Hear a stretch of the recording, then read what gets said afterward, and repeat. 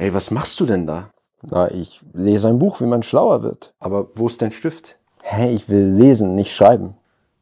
Anfänger, wenn du Bücher ohne Stift liest, dann machst du was falsch. So viele Leute denken, dass sie einfach ein Buch lesen können und dadurch schon was lernen. Mal im Ernst, wie viel erinnerst du noch von den Büchern, die du vor fünf Jahren gelesen hast?